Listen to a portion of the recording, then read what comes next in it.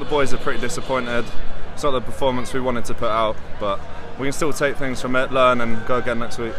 What was said at the end there? Because you guys almost so close to getting back into the game, but things just slipped again. I think the overriding thing was just discipline. We just gave ourselves way too much to work work for. I think that's just something we need to work on next week. Um, just still take confidence out of it and keep going. Your try was a really nice one in the second half, got us right back in the game. Can you talk us through that? Yeah, obviously I found myself on the whip and tired the ball, and I thought I could be in the corner, and then he gave it to me, and then probably should work on my slide a bit, but uh, lungs were blowing as well. But no, it was good on first try. Yeah, 100%. I love to get my hands on the ball. I like being in the wide channel in the middle, so hopefully I can show more this season.